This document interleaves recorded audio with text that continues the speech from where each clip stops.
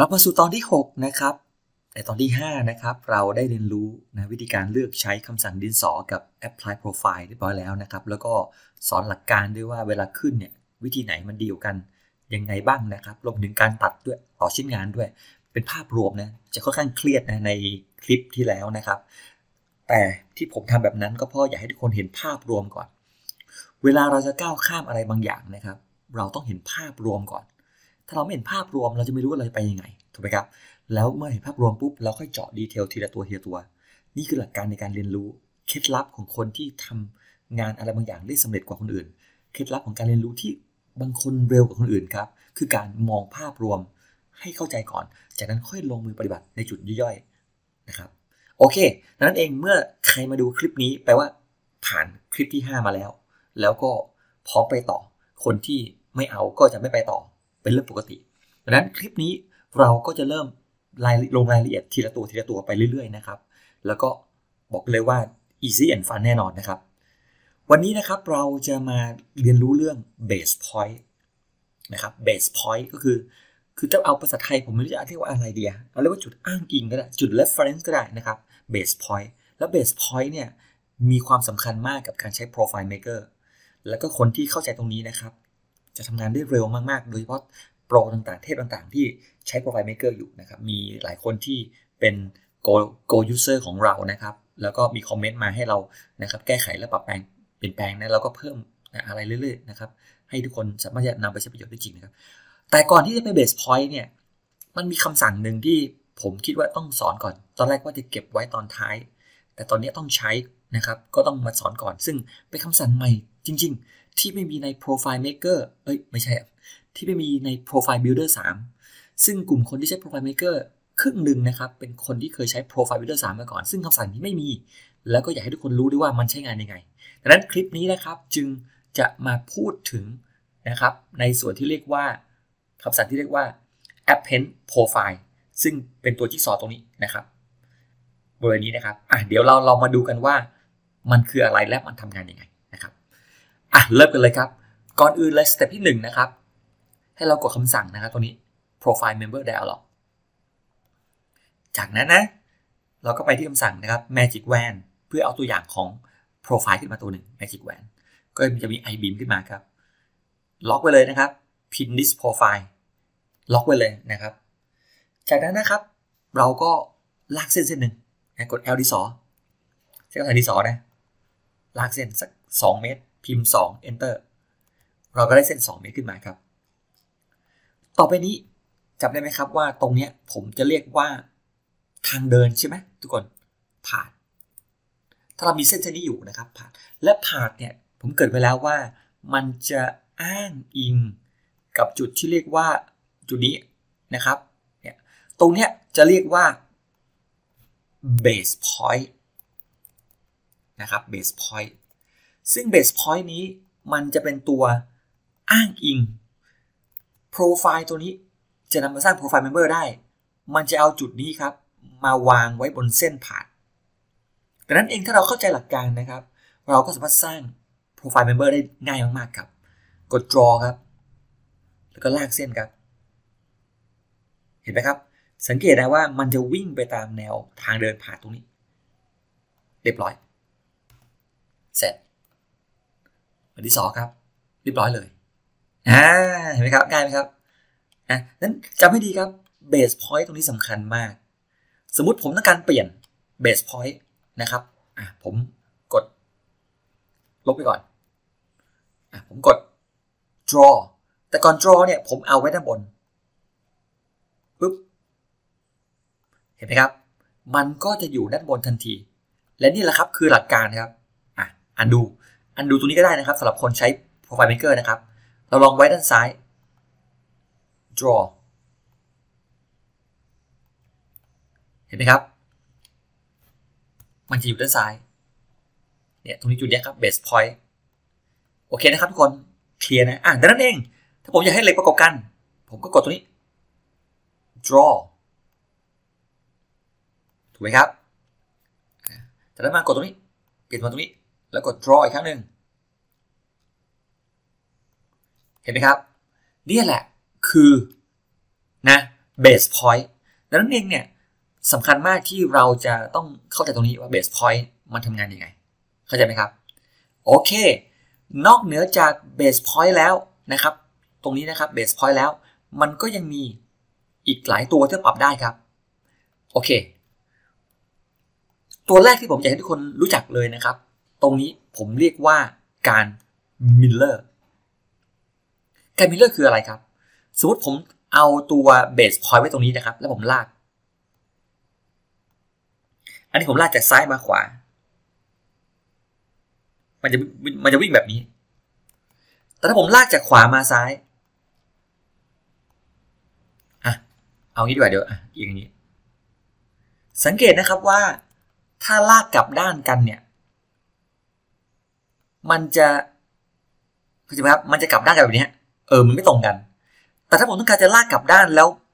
แล้วให้มันตรงกันเนี่ย กด draw เห็นไหมมันกลับด้านกันนี้ ผมกด mirror แล้วกด mirror ปุ๊บเห็นไหมครับ มันจะอะไร มันจะวิ่งในแนวเดียวกันเลยกด space bar นั้นมิลเลอร์เนี่ย มันจะช่วยปรับทิศทางของการ เดิน ว่าต้องการจะกลับพลิกไปด้านไหนนั่นเองเนี่ยสำคัญมากที่เราจะต้องใช้นะครับในการทำงานอ่าอ่า base point อยู่ตรงนี้ เอาลากมาปึ๊บเหล็กจะประกบกันตรงนี้ โอเค จากนั้นเหล็กอีกตัวหนึ่งมาลากจากด้านนี้มา กลับด้านเอามันกลับด้านกันกด mirror แล้วก็ลากมาชนกัน โอเคไหมครับ และนี่คือ base point แล้วก็ mirror นะ ทุกคน เข้าใจไหมครับอ่าโหง่ายมากๆ ไม่ยากเลยนะ ถ้าเข้าใจตรงนี้บอกเลยชีวิตดีๆแน่นอนนะครับ อะ base point นะครับ โอเค ต่อไปนะครับ เมื่อเราเข้าใจ miller แล้วนะครับ เข้าใจ base point แล้ว ตัวต่อไปครับจะเรียกว่าการหมุนครับ rotate โอเค เรามาดูกันเลยครับ อะอ่านดูตรงนี้ดีกว่า วิธีการนะครับ ผมปรับไปที่เซนเตอร์ก่อน แล้วคราวนี้ผมอยากจะได้เหล็กหมุน 45 องศา เอาละผมกด draw this profile เหล็กมันมีนี้ถูกไหมครับ เอาละให้คลิกตรงนี้ครับ สีชมพูตรงนี้ มันศูนย์อยู่ ให้เราปรับเป็น 45 แล้วกดคลิกข้างนอกหนึ่งทีนะ ไม่ต้อง enter นะปึ๊บ profile มันก็จะหมุนแบบนี้ครับ เห็นไหมครับ หมุนอย่างนี้ 45 มันจะหมุนด้านนี้นะ สังเกตนะครับว่า ถ้า 45 มันจะหมุนด้านนี้นะครับอะลองพิมพ์ ลบ45คลิก มันจะหมุนด้านนี้ เห็นไหมครับทุกคนอะลากจิ๊บเรียบร้อย โปรไฟล์มันก็จะหมุนได้ ซึ่งมันก็จะขึ้นอยู่กับ center line ด้วย หรือ base point ด้วยนั้น rotate เนี่ย ใช้ในการหมุนนะครับ เราไม่ต้องเสียเวลานะในการทำไอ้พวกงานพวกนี้ครับ มันมันหมุนได้ เข้าใจไหมครับนั่นเองเนี่ยเนี่ยข้อดีของ Profile Maker อย่างนี้แหละ มันทำให้ชีวิตเราดีดีนะครับ โอเคอะผมปรับเป็นศูนย์ก่อนค่อยๆเรียนรู้ไปนะครับ ไม่ยากครับ ความยากอยู่ที่ใจเราเองนะครับอะต่อไป undo เมื่อเราเข้าใจละว่ามันมีตัว base point miller แล้วก็ตัว rotation นะครับหรือหมุนนะ องศานะครับ มันจะมีอีกตัวหนึ่งนะ จริงๆอีกมันคืออีกสองตัว มันไม่ใช่ คือแต่ละหลักการเดียวกัน มันคือการ offset offset ตามแนวแกนแดงกับเขียว บริเวณนี้ครับ เรียกว่า y offset บริเวณนี้ครับ เรียกว่า x offset โอเค ความหมายคืออะไร ทุกคนรู้ใช่ไหมว่าไอ้ตรงนี้คือแกน x แล้วตรงนี้เรียกว่าแกน y ในกรณีนี้นะครับ ถ้าผมอยากจะให้เหล็กของผมเนี่ย มันอยู่ห่างเส้นเนี้ยประมาณสัก 0.2 เมตร เดี๋ยวสีแดงเดี๋ยวเดี๋ยวหลายคนงงว่าเฮ้ย อยากให้อยากให้เล็กของผมเนี่ยห่างตรงนี้ศูนย0.2ซึ่งมุมเนี้ยคือมุมที่ห่าง ผมเปลี่ยนเบสพอยต์มาก่อนนะ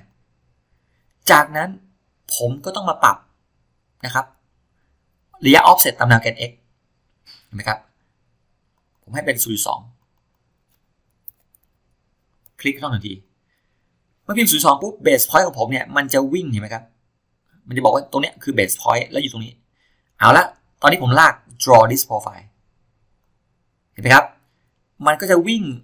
ตามแนวที่ห่าง 0.2 โอเค แล้วตอนนี้ผมวัดดู เห็นไหมครับ มันก็จะ 0.2 พอดี อีกตัวหนึ่งผมจะให้มันขึ้นไว้ด้านบน 0.2 ด้วย ผมก็ปรับไปที่ y offset พิมพ์ 0.2 คลิกเข้าหนึ่งที ตอนนี้มันก็จะมันก็จะต่างอย่างนี้ครับ มันจะวิ่ง ตรงนี้ เพราะว่านี่คือ0.2 0.2คือมันจะลง แต่ถ้าเราต้องการขึ้นแล้วให้พิมพ์ลบ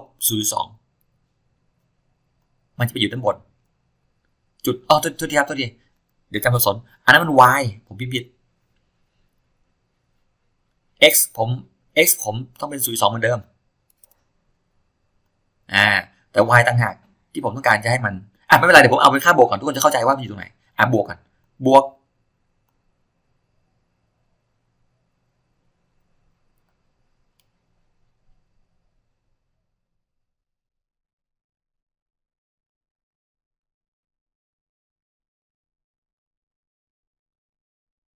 ศูนย์จุดสองเดี๋ยวผมขอดูนะ เอ๊ะ อะไรเนี่ย งง งงเองปึ๊บ อะ อันนี้ใช่ละ โอเคจากนั้นมาผมจะเอา y ศูนย์อ๋อ ผมเข้าใจล้วคือผมอ้างอิงกับตัวนี้ และนี่มันคือศูนย์สองอ่า ผมคนเอาตัวนี้มากกว่า โอเค แล้วผมก็ยกขึ้น 0.2 โอเค ทุกคนคิดตามนะครับสีตีนิรุพาดนักปราชญ์นิรุพังอย่าถือสา อ่า อย่างเงี้ยได้แล้วครับปึ๊บในขณะลากไอ้ตัวนี้ก็จะอยู่ด้วยกันแล้วก็ขึ้นมา0.2เพราะว่าผมอ้างอิงจากพื้นถูกไหมโอเคครับ นึกออกไหมมันมีความสัมพันธ์ระหว่าง base point กับ y offset นะครับ แล้วก็ x offset และนี่คือหลักการในการสร้างโปรไฟล์ดังนั้นเองถ้าเราเข้าใจหลักการตรงนี้นะครับ บอกได้เลยว่าชีวิตดีดีแน่นอนนะครับดังนั้นเองเนี่ยเวลาสร้างเนี่ยนะครับเนี่ยตรงนี้สำคัญมากๆ ที่มันจะช่วยให้เรานะสามารถสร้างชิ้นงานที่มันซับซ้อนได้ ถ้าเราเข้าใจหลักการตรงนี้นะครับอะลองไปฝึกเล่นดูก่อนนะครับ จะเข้าใจนะครับ โอเค เดี๋ยวผมปรับค่าทุกอย่างให้กลับมาเป็นเป็นค่าเดิมก่อนนะเดี๋ยวงงเอาศูนย์ค่านี้คือศูนย์ โอเค แล้วก็ไว้ที่ center อีกครั้งหนึ่งครับ เอาละครับ ทุกคนเข้าใจถูกต้องถูกไหมครับ ต่อไปครับเรามาดูการใช้คำสั่ง shortcut ครับในการเปลี่ยน base point ดูนะครับสำคัญมากนะสำหรับการทำงานนะเวลาลากไปปุ๊บเบสพอยต์ไม่ได้ตั้งใจครับ ให้เรากดปุ่มคำว่า home นะที่แป้นพิมพ์นะครับ แป้นพิมพ์นะครับกด home home home อย่าลืมเอานำล็อกออกด้วยนะ คือต้องต้องอย่าล็อกไว้นะครับ home เนี่ยมันอยู่ด้านขวานะเป็นพวกอยู่ตัวหนังสือนะครับ H O M E home กดไปเรื่อยครับ เมื่อกดไปเรื่อยๆปุ๊บเนี่ยมันจะล็อกตำแหน่งไม่ใช่ล็อกมันเลื่อนตำแหน่งให้เราครับเอาไว้ด้านนี้เสร็จเลยปุ๊บเสร็จอ่าลากไปกด home home home เรียบร้อยครับ ได้ละอะต่อไปกดต่อปุ๊บ home อะ center home home เห็นไหมครับ คลิก นั้นปุ่ม home เนี่ยจะช่วยให้เรานะครับนะควบคุมการทำงานได้อย่างง่ายดายเลยครับ ต่อไปนะครับมันมี shortcut อีกตัวหนึ่งนะที่อยากให้ทุกคนรู้จักนะครับ เวลาเราลากดีสอเนี่ยไปปุ๊บเนี่ยแล้วเราอยากจะหมุนองศามัน เรากดคำสั่ง tab นะ เมื่อกด tab กดกดตัวนี้ก่อนนะหนึ่งครั้งกด tab มันจะมีการปรับค่าไปเรื่อยๆครับ ให้เราเลือกได้ต้องการอะไร ซึ่งตัวนี้เองไม่ต้องคลิกเองอะสมมติผมต้องการปรับองศา ผมก็กดไปเรื่อยๆ tabแท็บแท็บแท็บแท็บเจอละนะครับ พิมพ์ 45 นะครับ ก็คือ อย่าลืมลบสูตรออกไปก่อนนะอะ45 กดคลิก เห็นไหมครับ มันจะหมุน 45 ให้เราเลยอะกดแท็บต่อครับแท็บกดตัวนี้ก่อนนะ คลิกหนึ่งครั้งก่อนนะ แล้วกดแท็บอะต่อไปอยากจะเปลี่ยนอะไร เปลี่ยนได้หมดครับ อะเปลี่ยนจุดเบสพอยต์แท็บไปเรื่อยนะแท็บอะเลื่อนตรงนี้จึ๊บเรียบร้อยท็อปวิดีโอต่อไปต้องการอะไรอะปรับองศาใหม่กดแท็บแท็บแท็บแท็บแท็บโอเค ลบก่อน ลบลบตัวนี้ก่อน พิมพ์ ลบ 45 แล้วก็คลิก เห็นไหมครับ มันก็จะให้ให้เราสามารถปรับค่าเราดีได้ โอเคนะ อันนี้ไม่ใช่ไม่เป็นไรนะ แต่ให้รู้เฉยว่าสามารถทำได้ครับ โอเค ต่อไปเดี๋ยวผมจะมาสอนสุดท้ายละเซนเตอร์แล้วก็องศาเดี๋ยวกดแท็บก่อนแท็บแท็บแท็บแท็บแท็บแท็บแท็บแล้วก็ลบทิ้งก่อน เหลือศูนย์พอ โอเค เราจะมาทำสิ่งที่เรียกว่าการ append profile โอเคนะครับทุกคนมาดูหลักการนะครับเอาแล้วทุกคนสังเกตนะ ทุกคนสังเกตดีครับตรงนี้สำคัญมากนะทุกคนนะ ดูดีนะครับ เอาละ สังเกตนะครับ เวลาเราลากดินสอ draw this profile แล้วผมลากไปนี้ แล้วเวลาผมคลิกไปที่เหล็กอีกครั้งหนึ่งนี่ปักหมุดไว้แล้วนะ ทุกคนดูช้านะครับ ปักหมุดไว้แล้วนะ กดจึ๊บ ทุกคนสังเกตไหมมันจะมีสีเหลืองๆหุ้มตรงนี้อยู่ โอเค เพื่อให้ทุกคนเข้าใจ เดี๋ยวผมทำให้ดู มันคืออะไร เดี๋ยวผมจะทำท่อท่อหนึ่งขึ้นมา โอเค ผมยกเลิกการประมุดกดที่เฟซตรงนี้ ผมตั้งชื่อว่าไปไพล็อกไว้ เรียบร้อย เสร็จแล้ว จากนั้นผมก็จะเอาเส้นนี้มา copy มา แล้วผมก็จะกด draw และนี่ก็คือท่อหนึ่งอันที่ผมสร้างขึ้นมา อันนี้คือเบสิกง่ายๆ ทุกคนรู้อยู่แล้วนะครับ เอาละทุกคนดูให้ดีนะ ตอนนี้ผมปักหมุดท่อไว้ ถ้าผมเลือกปักหมุด มันจะหายหมดเลยถูกไหมถูกไหมครับ มันจะไม่รู้ว่าเลือกโปรไฟล์อะไร คลิกที่ iBeam มันก็ขึ้น iBeam คลิกที่ท่อมันก็ขึ้นท่อ อันนี้คือเบสิกง่าย แต่คราวนี้เมื่อกดที่ท่อปุ๊บ ผมกด pin this profile มันจะล็อกละ แล้วตอนนี้เวลาผมไปกดเหล็กตัว i เกิดอะไรขึ้นลองดูนะครับ คลิก เห็นไหมครับ มันจะเกิดการเปรียบเทียบ ตัวที่เราล็อกจะเป็นสีเทา ส่วนตัวที่เราเลือกจะกลายเป็นสีทองหรือสีเหลืองก็ได้สีส้มก็ได้นะครับ สีส้ม นี่คือหลักการง่ายๆครับ ใน Profile Builder 3 ไม่มีคำสั่งนี้นะ แต่ใน Profile Maker เนี่ยมีตรงนี้ หลายคนถามว่าแล้วมันจะมีประโยชน์อะไร เออ มาดูประโยชน์ของมันครับ ประโยชน์ของมันคืออะไร ยกตัวอย่างเช่น ถ้าในกรณีนี้ผมไม่มีเส้นอีกแล้ว ไม่มีผ่าทางเดินอีกแล้ว แต่ผมอยากจะเอาท่อเนี่ย ไปวางไว้ด้านบนของเหล็ก ตัวไอไอบีมผมทำได้ยังไง เพราะผมไม่มีสมมติผมไม่มีแกนนะ ไม่มีแกนให้ให้ให้ให้มันลาก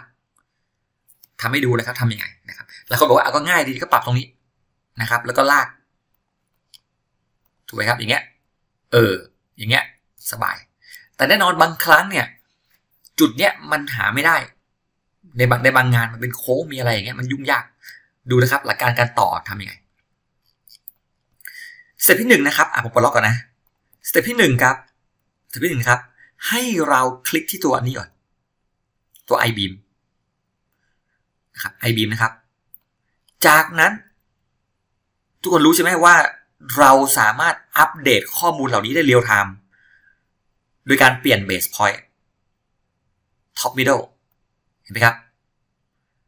ถ้าเราไม่ปักหมุดนะโปรไฟล์ที่เราจับไว้ มันจะอัปเดตกับโปรไฟล์ member real time ตอนนี้ผมจะจับไว้ด้านบนเห็นไหมมันลงมาข้างล่างละเรียบร้อย โอเคไหมครับทุกคน เคลียร์นะนะครับเห็นไหมมันมัน real timeเรียบร้อยเลยเสร็จโอเค ตัวนี้ อยู่ด้านบนแล้วนะครับ ต่อไปตัวนี้อ่า base point อยู่ตรงกลาง ผมต้องการเอามันมาวางไว้ด้านบน มันต้องอยู่ด้านล่างถูกไหมครับ แต่คราวนี้ผมอยากจะทำให้ดูแล้วว่า ถ้าผมปักหมุด ผมเปลี่ยน base pointมันจะมีสีส้มขึ้นมา เพราะว่าทุกคนเข้าใจไหมครับว่าไอ้สีส้มเนี่ยที่เลือกเนี่ย กับไอ้ตัวสีเทาเนี่ยมันคนละตัวกันละ โปรแกรมไม่รู้ เข้าใจไหมครับ คือโปรแกรมไม่รู้ว่า เออมันมันมันคือตัวเดียวกัน เพราะว่ามันปิดกั้นไปแล้ว แต่ถ้าเราต้องการที่จะเช็คก่อนว่าไอ้สีเทาคือตัวนี้ แล้วสีส้มคือตัวที่เรามีอยู่ และสีเทาคือตัวนี้ เห็นไหมครับเนี่ยอันนี้คือสีเทา ถ้าเราออกคำสั่งเปลี่ยนแปลงแล้ว มันจะอยู่ตรงไหนของตำแหน่งของสีสีส้ม มันจะบอก ค่อยๆคิดตามมาช้านะจะเข้าใจ เข้าใจไหมครับ สีส้มคือตัวที่เราเลือกไว้ สีเทาคือตัวที่เรานะครับ ปรับไว้ เนี่ยในในนี้ในพิพินไว้ คือต้องเซนเตอร์ด้วยการไปตรงอย่างนี้ ไว้ตรงนี้มันจะโดดขึ้นมาข้าหมายคืออะไร เรากำลังจะเห็นไอ้ตัวท่อเนี้ยวิ่งด้านบนถูกไหมครับ เลยมานิดหนึ่งของตัวนี้ โอเค ไม่เป็นไร ถ้าผมกด apply profile มันจะขึ้นมาแบบนี้ ถูกไหมครับ แล้วสีส้มกับสีสีตัวเดียวกันอะ undo แต่ถ้าผมอยากจะได้ตัวตัวใหม่ ที่ไม่ลบตัวเก่าทิ้ง ผมออกคำสั่งตัวใหม่ครับ เรียกว่า append profile เข้าใจไหมครับทุกคน append profile กับตัว apply profile นี่ต่างกันนะ เคลียร์นะครับ get เนาะอ่า ดังนั้นเองเนี่ยนี่คือหลักการในการทำงานค่อยๆคิดตามไม่ช้านี่ค่อนข้างจะ advance นิดนึงแต่ไม่ยากเลยถ้าเราเข้าใจครับ append profile โอเคอะดูทีนะ ผมกลับมาตรงนี้ทีนะผมเอา center ก่อนนะ โอเค ตอนนี้เหล็กตัวเนี้ย มันคือ center อะผมผมยกเรื่องการปักหมุดก่อนนะ อีกครั้งหนึ่งนะดูนะ อะนี่อยู่ center ถ้าผมปรับ real time เลย มันจะขึ้นมาเลยถูกไหมแต่คราวนี้ผมไม่เอา ผมปักหมุดก่อน เมื่อปักหมุดปุ๊บเนี่ยเวลาคลิกอีกทีหนึ่งเห็นไหมครับไอ้สีส้มกับสีเทาเนี่ยจะตรงกัน เข้าใจไหมครับ แต่คราวนี้ผมอยากจะเปลี่ยนเบสพอยต์กดตัวนี้ นี่ครับ สีเทามันจะขึ้นมา มันจะอ้างอิงว่า เออไอ้สีส้มเนี่ยมันอยู่ตรงนี้นะ คือตัวนี้ และสีเทาตัวใหม่อยู่ด้านบนตรงนี้ดังนั้นเองเนี่ยทำให้เราเห็นภาพ ถ้าเรากด apply profile มันจะยกขึ้นมาทันที แทนที่ undo แต่ถ้าเรากด append profile มันจะไม่แทนที่ตัวเดิม มันจะสร้างตัวใหม่ขึ้นมา เข้าใจไหมครับ โอเคนะเคลียร์นะอ่า undo จากนั้นด้วยวิธีนี้ครับ ตอนนี้เหล็กของผมตัวเนี้ยอะผม apply ก่อน ตอนนี้เหล็กท่อของผมตัวเนี้ย มันอยู่ด้านล่าง และตัวเนี้ยอยู่ด้านบนดังนั้นเองผมกดตัวนี้จึ๊บเห็นไหมครับ มันจะเอาท่อของเราเนี่ยไปวางไว้ด้านบนทันทีเพราะว่าเบสพอยต์ของตัวเหล็กตัว i เนี่ยมันอยู่ตรงนี้ แล้วตัว base point ของเราอยู่ด้านล่างตรงนี้ถูกไหมครับดังนั้นผมกดคำสั่ง append profile ปุ๊บ มันก็จะวางได้ทันที ด้วยวิธีนี้ครับ เราสามารถที่จะวางท่อต่อกันได้ แบบนี้ครับ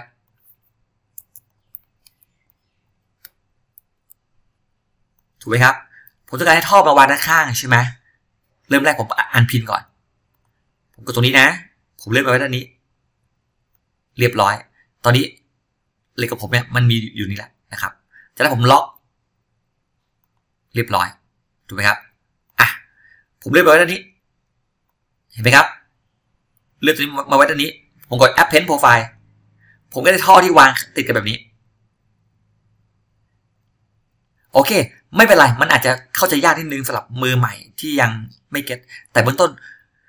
คือผมไม่ได้บอกว่าต้องเข้าใจสั้นๆนะ คือเฮ้ยเข้าใจเลย แต่บางคนเข้าใจเลยนะ แต่คนที่คิดช้าหน่อยหรืออะไรนี้ไม่ต้องกังวลนะครับ ลองไปทำดูเรื่อยๆจะเข้าใจ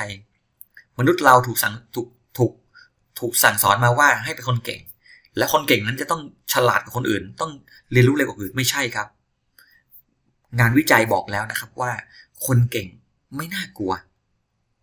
คนน่ากลัว คือคนตั้งใจ ฝึกฝน แล้วคิดวิเคราะห์ไปเรื่อยๆครับ